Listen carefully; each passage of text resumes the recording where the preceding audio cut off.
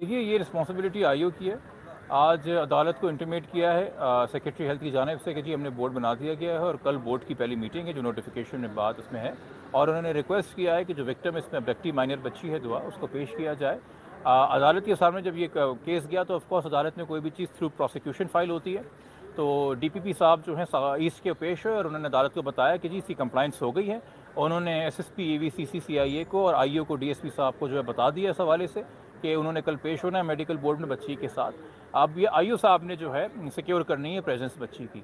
और उसके लिए जो भी कानूनी फॉर्मेलिटीज़ उन्होंने पूरी करनी है। अगर वो किसी वजह से कल प्रोड्यूस नहीं कर पाते हैं विक्टिम को सामने मेडिकल बोर्ड के तो वो अकॉर्डिंगली अपनी एक्सप्लेनेशन देंगे और मेडिकल बोर्ड से टाइम सीख करेंगे और मेडिकल बोर्ड अकॉर्डिंगली उस पर फैसला करेगा। देखिए, जब तक ये फैसला नहीं होता कि तफ्तीश उससे ली जाए, वो चार्ज उनके पास है। हम मौजूदा मुल्क के वजी अजम पर अक्सर कहते हैं, जी पॉपुलैरिटी गिर गई इनकी फलाना गिर गया तो ये तो नहीं होता कि अगर वो बदनाम हो गए तो अपना काम छोड़ देंगे।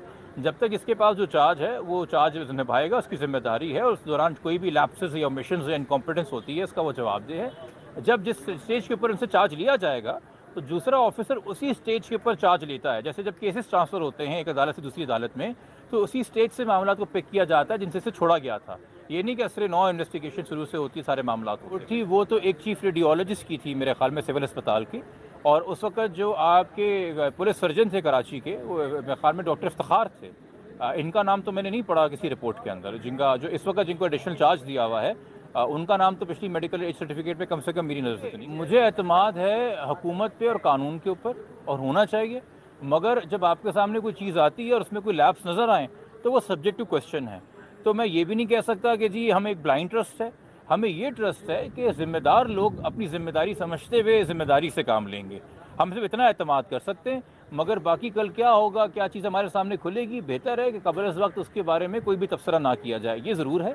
कि रीडिंग ऑफ़ द नोटिस बताती है कि सीनियर मेडिकल एक्सपर्ट्स को डिफरेंट फ़ील्ड से रेडियोलॉजी से डेंटिस्ट्री से फॉरेंसिक्स से और क्या कहते हैं, अपना गायनकोलॉजी से उन्होंने तलब किया है और दस लोगों पे मुश्तमिल एक बोर्ड है। मेरे ख्याल में जो कि एक बहुत बेहतर फैसला है ताकि इससे एक डीपर स्टडी आ सके प्रॉपर स्टडी आ सके एज असेसमेंट के हवाले से।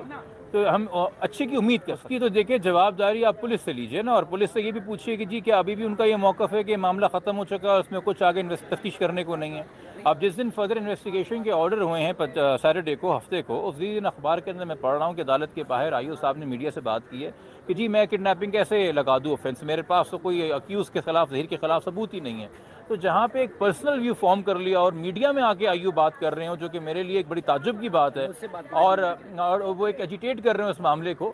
मेरे ख्याल में हमारे शको शबाद उससे और कहते हैं मजबूती हुए इस हवाले से कि जी वो पर्सनल हो गए और उनका अनप्रोफेशनलिज्म जो है और इनकॉम्पिटेंस जो है वो नज़र आ रही है और उनको तो हम ट्रस्ट नहीं करते। और मेरे ख्याल में एक सिंसियर एफर्ट भी हम एक्सपेक्ट नहीं करते उनसे कि वो बच्ची प्रोड्यूस करेंगे जो मौजूदा इन्वेस्टिगेटिंग ऑफिसर है। मैं बतौर वकील मेरे पास एक मुद्दई है जो मेरा क्लाइंट है। मेरी तमाम तर रिस्पॉन्सिबिलिटीज़ उनके लीगल इंटरेस्ट को जो लॉफुल इंटरेस्ट हैं उनको गार्ड करने में है। हम आवाम के व्यू को या आवाम के तबसरों को लेके कानूनी कार्रवाइयाँ नहीं करती, ना अदालतों को सवाले से चलना चाहिए। हमने बाय लॉ जिसका जो राइट है, वो सेफ़ करना है। वरना आवाम में पसीराई के और बहुत से तरीके हैं, एक छोटी बच्ची की ज़िंदगी के ऊपर कम से कम वो खेल नहीं खेलना चाहिए।